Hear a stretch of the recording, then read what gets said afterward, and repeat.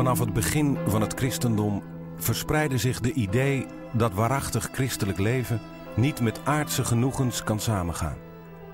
Iedereen was ervan overtuigd dat de woestijn de ideale plaats was om niet alleen de bekoringen, maar ook de lauwheid van de wereld te ontvluchten. Daarom leefde een monnik helemaal alleen. Maar zelden waren ze zo alleen als ze gewenst hadden, daar de faam van hun heiligheid vele leerlingen aantrok. Spoedig ontstonden er gemeenschappen van monniken die in kloosters bijeenleefden.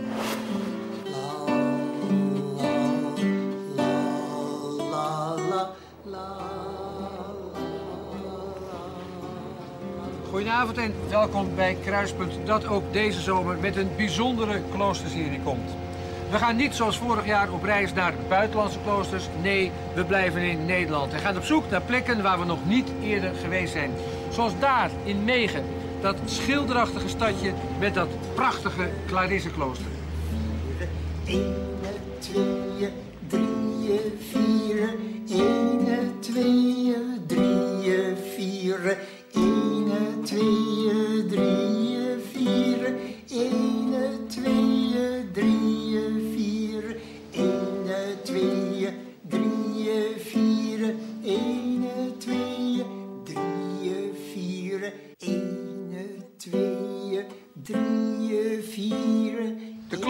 van dit jaar gaat over vader en moederschap. Kun je eigenlijk wel vader of moeder zijn in een klooster?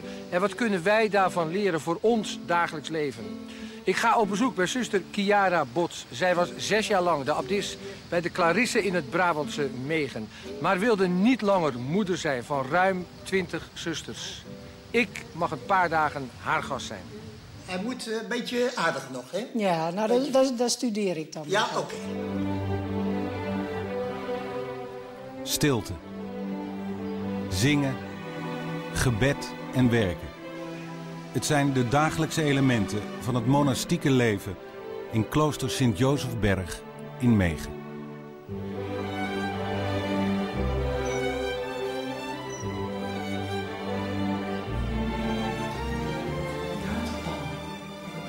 Dan kun je even anderen vragen. Ja, dat heb je te doen. Of meer... eh Welkom. wat fijn om Ja. hier te zijn. Dag, Leo. Feijen. Wat doet u hier? Nou, wij zijn samen aan het kijken wat er aan restjes zijn en hoe we dat kunnen verwerken. Sinds lang doet u dit? Eh, in de keuken overleggen om te gaan koken? Sinds ik geen abdis meer ben. Dus dat is eh, juni vorig jaar.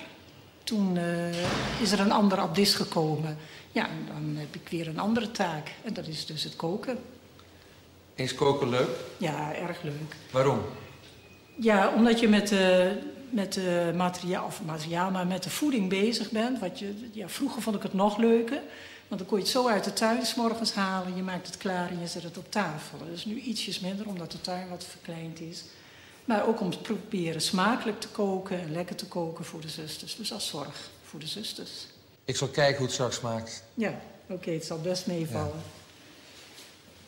Eh, dit is nog yoghurtvla, hè? Hoewel de andere zusters haar graag nog een periode als abdis zien, besluit zuster Chiara na zes jaar te stoppen. Het laatste jaar is zo uitputtend dat ze voelt dat ze geen keus meer heeft. Mooi hè, die beuk. Erg mooi. Want het is niet een tuintje, het is een tuin. Ja, het is een tuin. Met de muur eromheen. Ja. Oh, prachtig.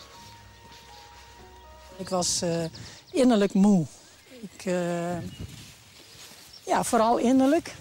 Later kwam de lichamelijke moeheid erbij. Maar in de eerste instantie zei ik, ik ben innerlijk moe. En ik denk dat het niet goed is. Er moet gewoon weer een nieuwe komen die het met enthousiasme oppakt. En dat had ik niet meer. Wat is innerlijk moe zijn? Ja, dat je het gevoel hebt geen ruimte meer te hebben. Dat je het gevoel hebt van... eh, ik heb moeite om bij mijn ziel te komen. Dat ik ook, ook zei, ja, ik verlang weer om bij mijn ziel te zijn. En ook eh, als je innerlijk moe bent, dan voel je van... ik heb geen ruimte meer voor de ander. En, en dat is niet goed. Een abdis moet er gewoon zijn voor haar zusters. En dan moet je niet eh, het gevoel hebben van... eh, ga allemaal eens even naar de hei of zo.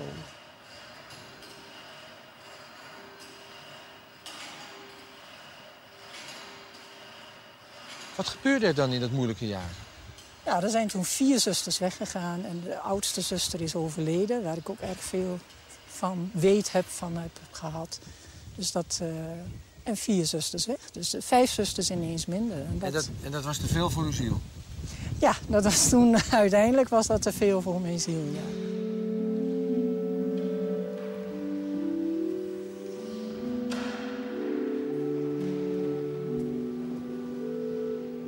Als ik zoiets meemaak, dan fiets ik en dan eh, word ik boos en dan ga ik schreeuwen en dan kan ik huilen op de fiets. Ja, ja. Hoe doet u dat dan?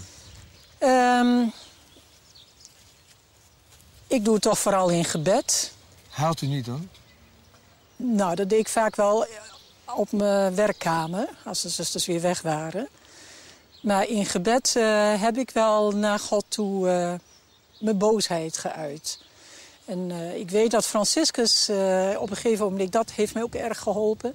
Die maakte zich op een gegeven moment ook ontzettend druk over zijn broeders. was op het eind van zijn leven. Dat de broeders een andere kant op wou als dat hij eigenlijk voor ogen had.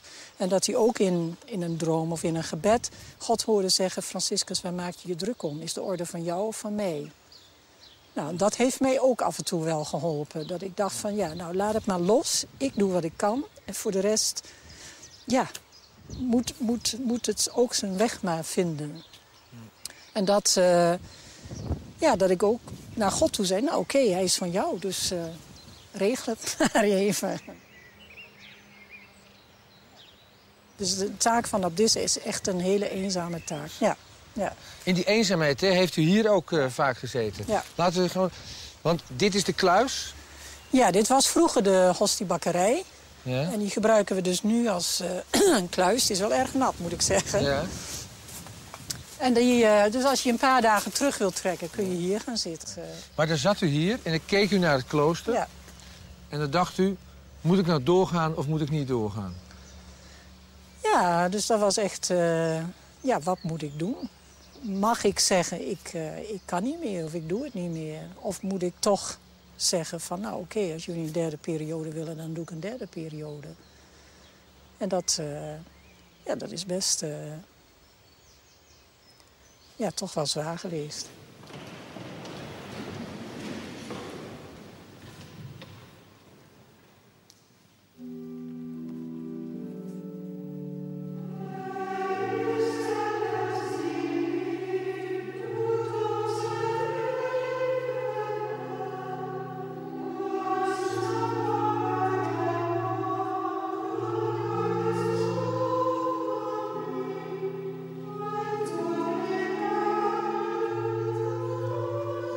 Zes jaar abdis zijn is dus...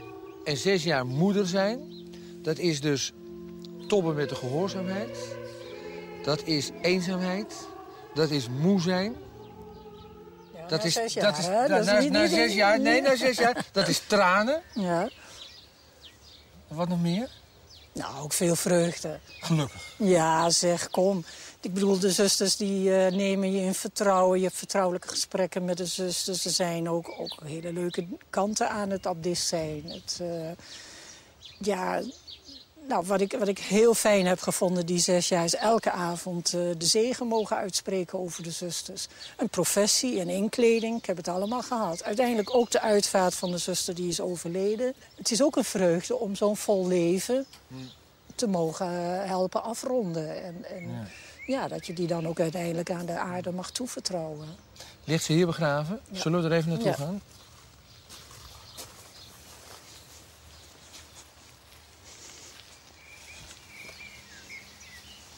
Dus bijna 90.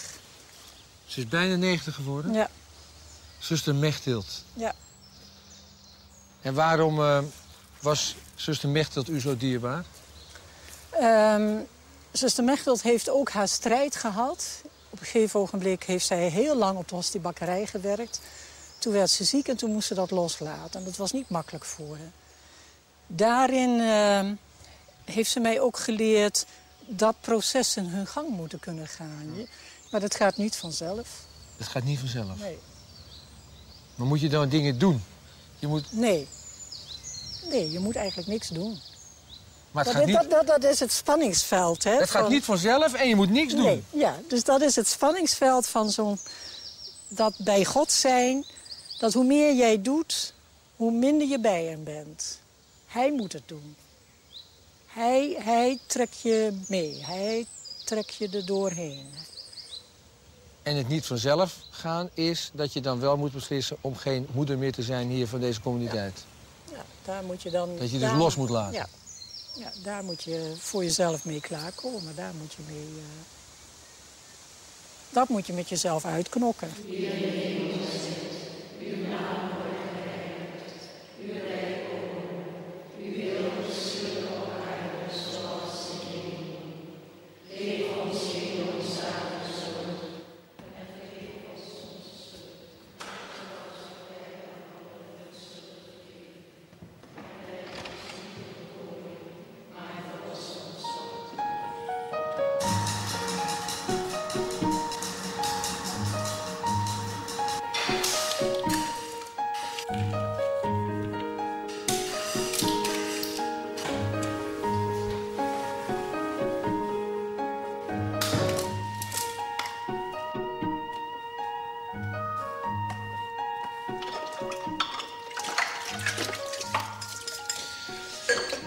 Zuster, als u nou hier zo bezig bent, hè? Ja.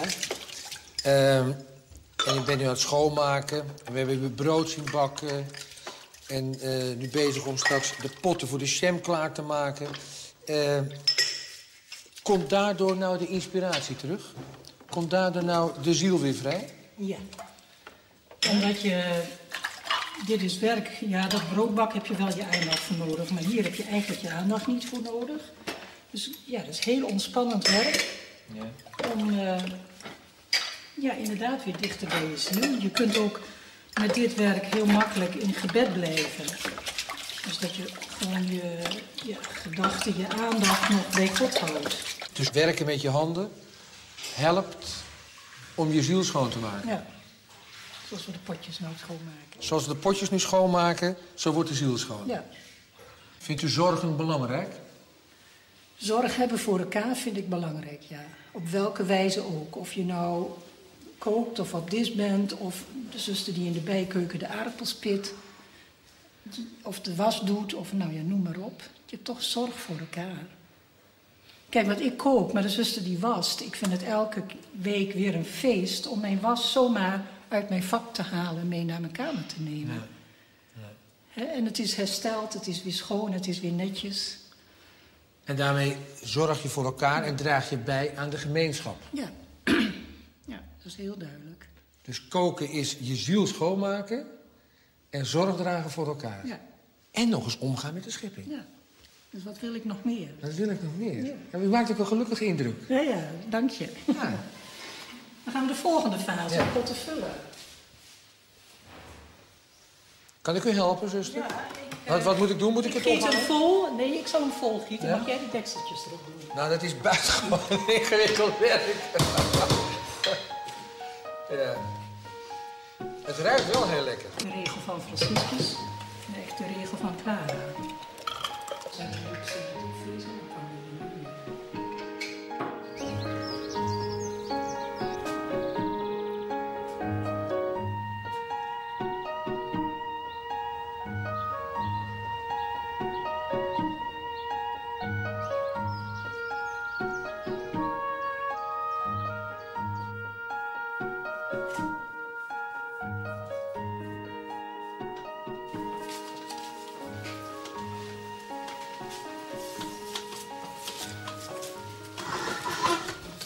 Zuster Chiara, wat bent u aan het maken? Ik weet het niet. U weet het niet. Nee. Ik begin soms zomaar en dan eh, zie ik wel welke lijn aanspreekt. Nou, dat is op dit moment dit. Maar wat het gaat worden en welke kant het op gaat, weet ik niet. En wat de betekenis is, dat Weet ik ook nog niet. Is dat scheppen? Voor mijn gevoel wel. Langzamerhand komt het dan... Dus gewoon deze lijn raak je, raakt mij en daar ga ik dan mee verder. En dan hoop ik dat er op een gegeven moment iets uitkomt waarvan ik zeg... ja, dat was het. En dat jaar dat het voor u als abdis zo heel moeilijk was. En dat u later ook dacht van... ik wil misschien ook wel geen abdis meer zijn. Kon u toen ook hier scheppen? Nee. Nee. Weet u dat? Ik nou? heb het laatste jaar heb ik niet kunnen boetseren. Waarom niet? Omdat ik niet bij mijn ziel kon komen. Dus op de een of andere manier heb je daar toch een innerlijke ruimte nodig. Je, hebt ook, eh, ja, je hoofd moet ook een beetje leeg zijn als het ware. Of leeg worden tijdens dat je bezig bent. En dat lukte niet met boetseren. De tuin wel, maar niet boetseren. En dat is nu pas sinds, eh, ja, sinds een paar maanden is het terug. Dat ik weer... eh, dat ik weer wil, dat het weer gaat tintelen in mijn vingers. Wanneer was het, het allereerste moment dat u het idee had, het is weer terug? Toen heb ik, eh, ja, dan, dan moet ik daarheen. Dus toen heb ik deze gemaakt. Dus dat was eh, voor mij. Ieder mens heeft natuurlijk twee kanten in zichzelf: hè? Een, een, een ja, mannelijke, vrouwelijke kant, een actieve kant en een contemplatieve kant. Nou, dus ik heb in mijzelf ook een eh, hele stille kant, een, een kant, een hele innerlijke kant die heel sterk verlangt naar God. Die was ik wat kwijt. En mijn actieve kant heeft maar doorgegaan. En dit beeldt voor mij uit dat die twee weer bij elkaar gekomen zijn. De buitenkant en de binnenkant. Ja. Dus ik ben als het weer één.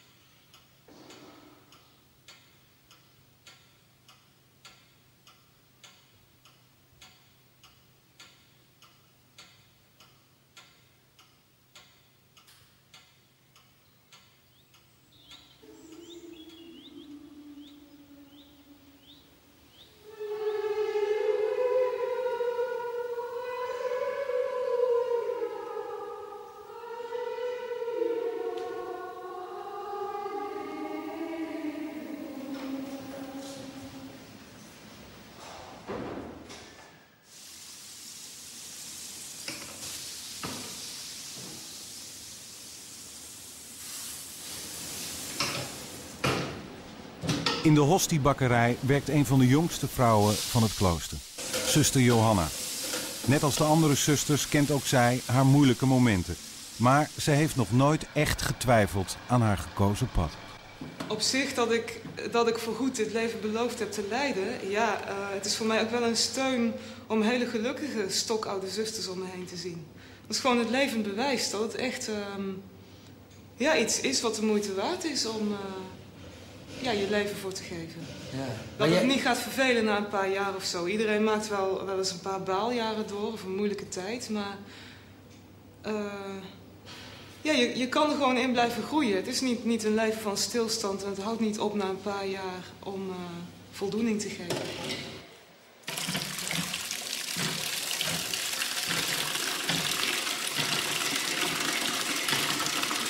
Zover dat ik echt dacht dat ik hier weg moest, dat, dat, eh, zover is het toch niet geweest. Maar wel dat ik, dat ik heel erg twijfelde aan van ja, ben ik wel goed bezig? En wat geloof ik nou eigenlijk precies? Ik snap er helemaal niks meer van. En eh, ja, eh, ik voel er ook niks meer bij.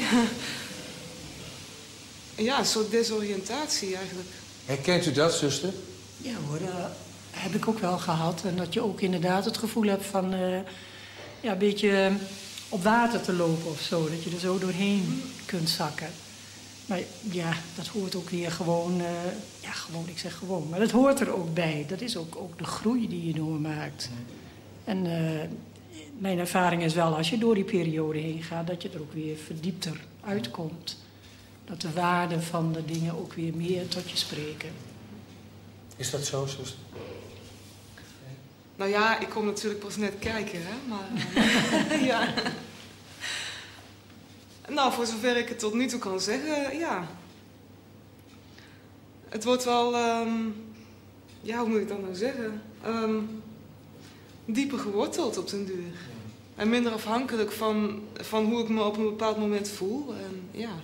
Of wat anderen ervan denken of vinden. ja, ook. En ook wat anderen ermee doen. Ja. Ik heb heel veel mensen weg zien gaan die samen met mij in vorming zaten. En ja, natuurlijk maakt het ook veel indruk. Maar ja, uiteindelijk eh, gaat het daar ook allemaal niet om. Waarom ben jij gebleven?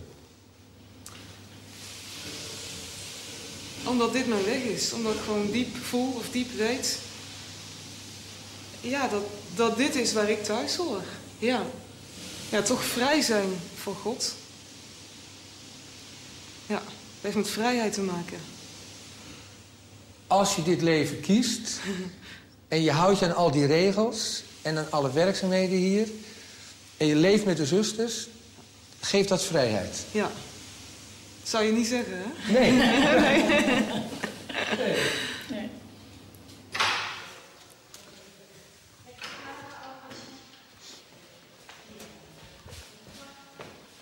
En? Ja, ja, hier is het. Kijk eens. Zuster, ik heb de hele tijd niet Wacht gedaan. hier, dit is, dit is zijn nieuwe. Ja? Ik ook niet. Ik heb het ook een hele tijd niet gedaan.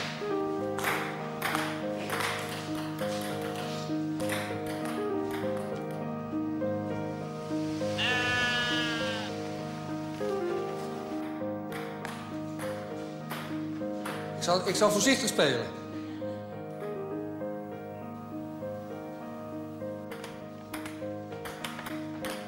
U wilt te graag, u wil scoren.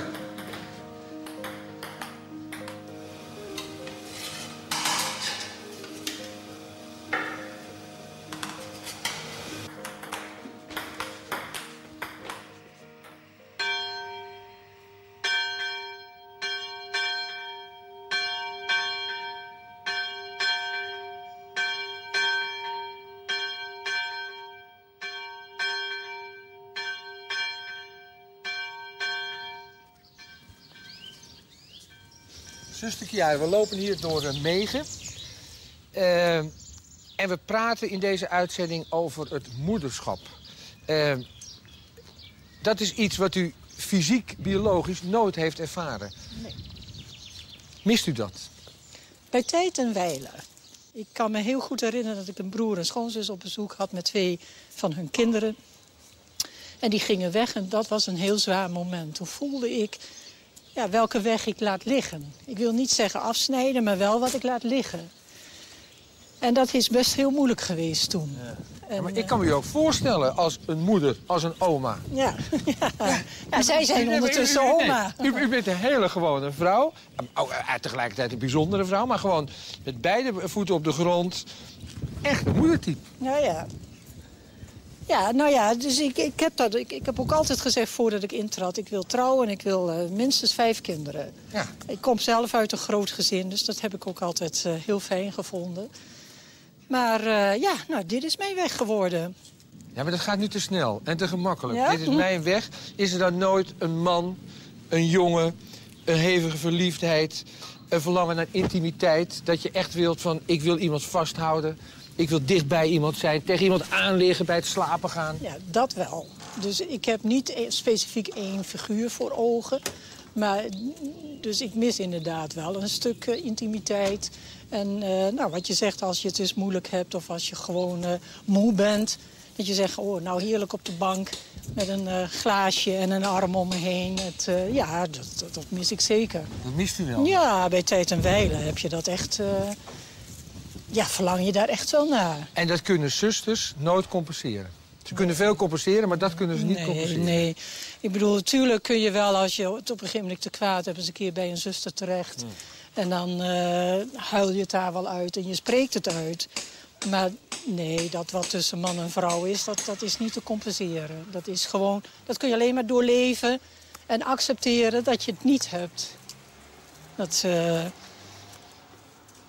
en eh, ook, ook, ook God is geen compensatie, of Jezus is niet... Nee, eh, ook niet? Nee, nee niet in de zin, in de zin van dat gemis van eh, inderdaad die arm om je heen. Of, die knuffel. Nee.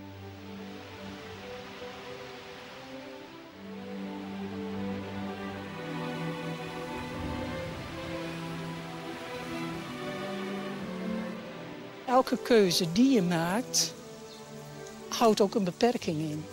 Je kunt niet alles in het leven. Ik denk wel eens de jongelui kunnen dat tegenwoordig wel denken, dat alles kan, maar dat kan niet. Je hebt maar één leven en je bent beperkt. Want eh, ja, jij bent ook druk bezig met kerk en parochie en hebt een gezin. Zeker, zeker. En moet je ook kiezen. Ik verlang af en toe ook naar de rust die u mag beleven. En ik verlang ook naar de stilte die u mag beleven.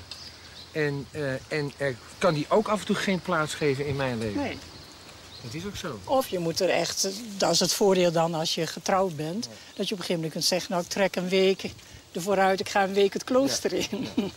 Ja. En dat kan ik natuurlijk niet. Ik kan niet zeggen, nou ga ik even een week...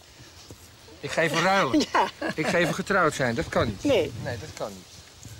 Maar hoe wist u dat, dat, dat inderdaad dit de bedoeling was van uw leven? Hoe weet je dat nu? Ik zeg wel eens, het is hetzelfde als dat je een partner hebt. Hoe weet je nou dat jouw vrouw jou de ware is? Dat, ja, dat moet je op een gegeven moment ook ontdekken in jezelf. En je hebt misschien een x-aantal van tevoren gehad... waarvan je zegt, ja, dit is het toch niet, maar waarom niet? Ja, dat zijn ook dingen die je soms niet goed kunt uitleggen. Nee. Dat kun je soms niet goed uitleggen. Nee. Ik zeg wel eens, ik kan bij wijze van spreken tweelingzussen van je vrouw naast te zetten... en dan toch kies je voor haar. En waarom dan? Ja. Nou, misschien heeft het ook wel te maken met de plek waar je het diepst jezelf kunt zijn. Ja. ja. En zij raakt dat blijkbaar aan. Ja. Zoals God het bij mij aanra aanraakt.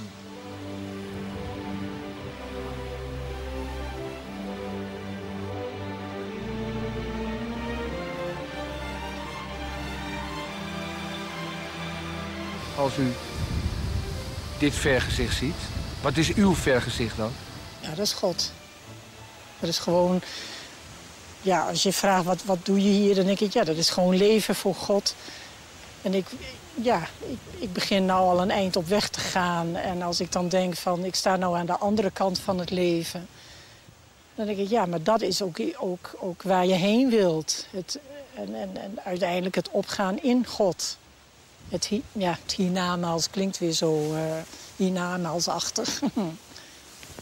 maar dat is het toch wel, dat je zegt van... Uh, ja, dat is het wel voor mij. Dat ik eindelijk mag zien. Van aangezicht tot aangezicht. Wat nu enkel keertje mag zien, soms even. Maar dan mag ik ja, helemaal zien. En dat lijkt me echt het, uh, het summen. En, en, en neem dat verlangen toe als je ouder wordt? Uh, nu zit ik in het spanningsveld. Van, uh, ik, ik merk bij de oudere zusters dat dat verlangen toeneemt. En nu voel ik bij mezelf het spanningsveld van... Uh, nou, nog niet. En zal het wel zo zijn? En, ja, twijfel ik wel. Zal het wel zo zijn? Ja, zeker wel. Zie ik hem wel in de ogen? Ja. Oh, ik denk toch wel van... Uh, wat ook in de, in, de, in de hele wereld is en in, bij alle geleerden... zitten we onszelf niet voor de gek te houden. He, bestaat God wel echt? Ik bedoel, ik ben ervan overtuigd. Maar natuurlijk zijn er ook wel eens momenten dat je denkt van... Uh, ja, gestel nou eens dat zij gelijk hebben. En dat, dat we inderdaad uh, ja, onszelf voor de gek zitten te houden. En, en dan vind ik het wonderlijke als ik dan, zoals nu, dan denk van... nou, ik, heb, ik kan weer bij mijn ziel komen. En dan vind ik het wonderlijke, hij is er dan weer. Dan kun je wel zeggen van, ja, God is weg. Nee, God is niet weg, ik ben weg. Ik ben er niet.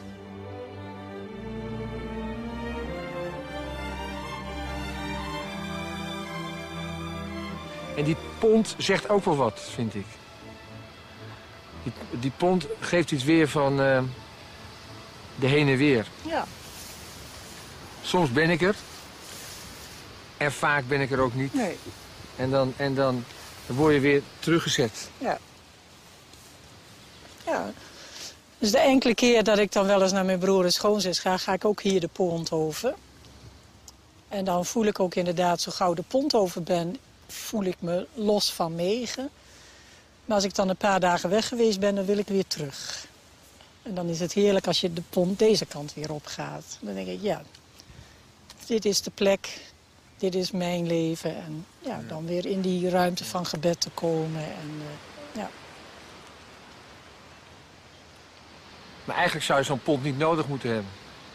Nee, als je geloof groot genoeg is, kun je er overheen lopen. Hè? Ja. Ja.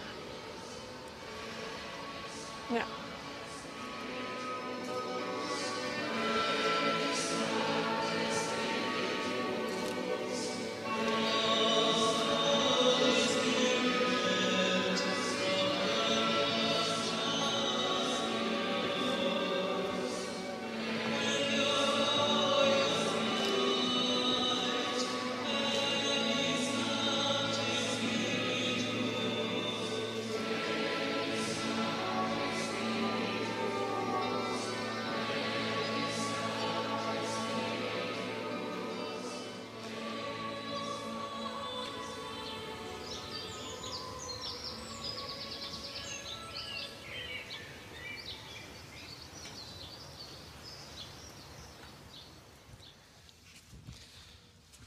Zuster, een uh, mooie plek om uh, deze uitzending te besluiten. Op uw meditatieplek vraag ik u...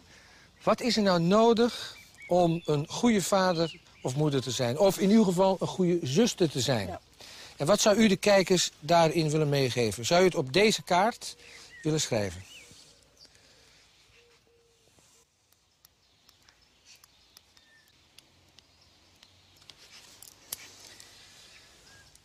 Zuster, dank voor deze woorden. Uh, dank voor het verblijf hier. En deze woorden gaf de zuster ons mee. Wees aandachtig, luister en blijf in gesprek. In Gods vrede.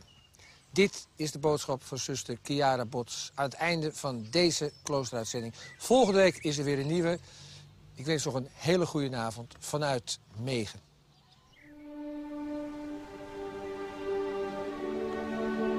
Als er iets is wat God, denk ik, wil, is dat we leven.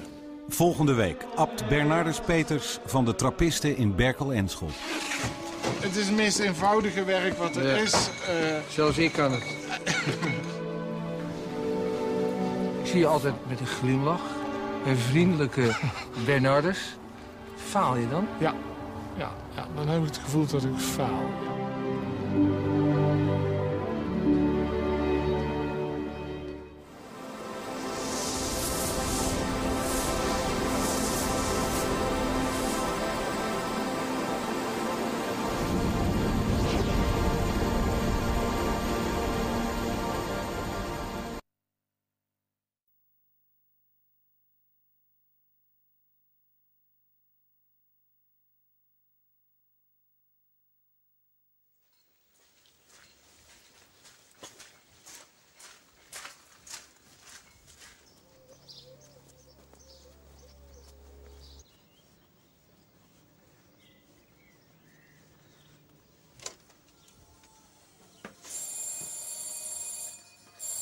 Morgen.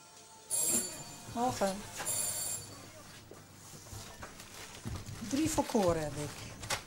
Ja. Maar viermaal krent, hè? Viermaal krenten. Ik heb geen eh, bestelling dit keer.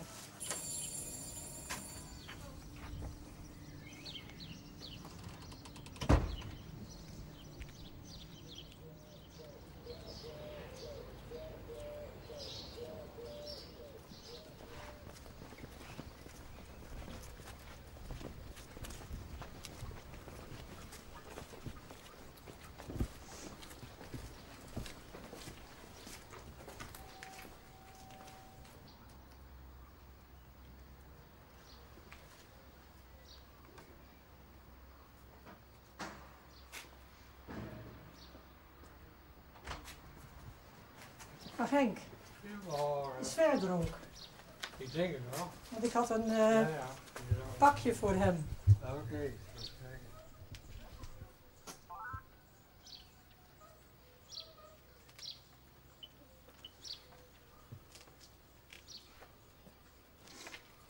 Joep, Piara, hij komt binnen. Wat zo. Ik kom binnen, dus ik ga nou. ja. naar binnen.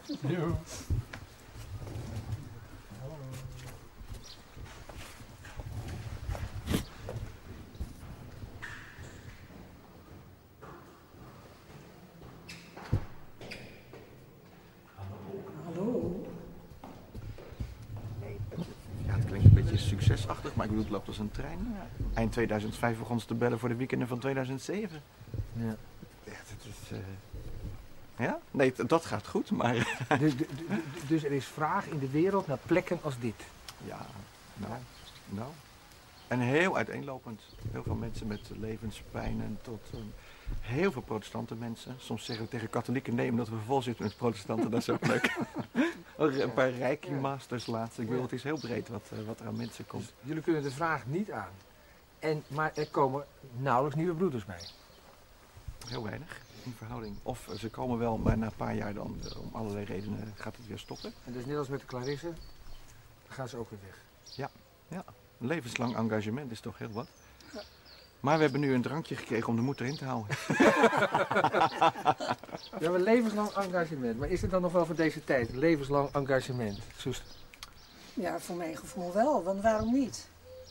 Ik bedoel, het is allemaal zo tijdelijk, hapsnap overal. En eh, dan denk ik, ja, wat brengt dat het geluk? En ook inderdaad, eh, ja, je moet er wat moeite voor doen, maar als je het doet, komt er ook een stuk stabiliteit en, en, en geluk en Nou, rust. we zouden het toch niet anders willen? Nee hoor, Nee, ik wil gewoon niet anders. Nee, je, je wil niet Nee, anders? zou ik het toch doen? Ja, maar jij, jij bent een van de jongere Franciscanen. Ja. Ja, en, En, en geloof jij ook in levenslang engagement? ja, anders zou ik hier nou niet staan. Hoe lang is het geleden? De, 20 jaar. Het is nu 20 jaar dat ik broeder ben. Ja. En wat is het geluk om broeder te zijn? Nou, laat ik vertellen, ik ben vanmorgen opgestaan, ben ik drie kwartier gaan wandelen op een heel dierbare plek, waar ik precies vandaag, 19 jaar geleden, mijn allergrootste levenservaring heb ontvangen. Drie dagen lang, daar heb ik ooit eerder in het programma voor jullie over verteld. Ik ben gaan wandelen en ik stroomde helemaal vol met liefde. Het was overal om me heen, het was helemaal van binnen. Ik werd opgeblazen van binnenuit door de liefde. En ik, eh, ik had een gevoel van dit is iets waar ik altijd naar verlangd heb. En ik wist eigenlijk helemaal niet dat dit het was. Want ik had een glas water gevraagd of daarnaar verlangd. En er spoelde een oceaan over me heen. Zoals nu. Zoals nu in de regen, ja. nou, dit is nog peanuts. En, en je leeft nog steeds vanuit die Ja. ene verpletterende ervaring. Ja, dat zijn natuurlijk veel meer ervaringen van waaruit ik leef. Maar dit was een ervaring die heeft een soort bodem neergelegd waar ik nog steeds op sta. En is dat bij u ook, zuster? Was er bij u ook die ene verpletterende ervaring dat u in uw kraag werd gepakt? Nee, niet in die mate. Ik had meer, eh, ik kwam van wintersport en toen ook het gevoel weer van, eh, ja, is dit het nou? Wat, wat, wat wil ik nou? En toen toch die ervaring dat God me wel in de kraag greep, inderdaad. En toen ben ik ook echt op weg gegaan en op zoek gegaan naar een plek. En daarna krijg je wel inderdaad echt die ervaringen van, ja, dat je elke keer die diepte ingetrokken wordt. Of, of, En word jij daar nog steeds in getrokken, in die diepte? Ik verlang ernaar, ja.